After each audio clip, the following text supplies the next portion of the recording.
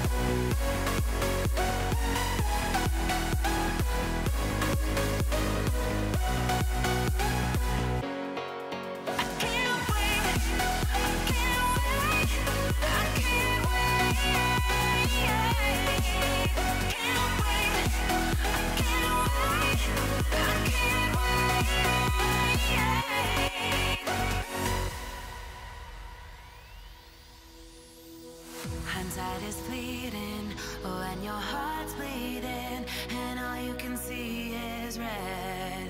Till you discover it is within each other to forgive and make amends.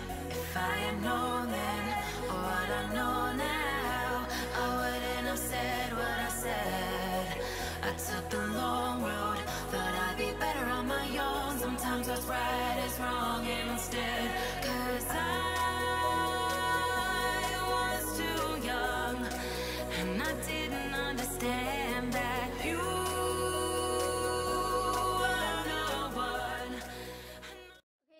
as you guys can see, it is 5.04 and we got everything done. We got the desk and everything cleared off. All this done, all that done, all this organized. I'm going to reorganize this and we have a like stand-up drawer thing that I'm going to organize like all the games and everything in. So that is my next step. But I got everything done. Everything is off the floor. Everything is dusted, everything is put away, so I'm so excited. I finally got this room done. I just have to shred those papers and then I have to file receipts and stuff for work, so. So that is it, you guys. I hope you guys enjoyed this Power Hour cleaning video. If you just need to stick to one room at a time, that is okay. Stick to one room, get it done, get it cleaned, get it organized, and then fingers crossed it stays that way. I hope you guys have a good one. Until next time, we will see you guys in the next one. Bye, you guys.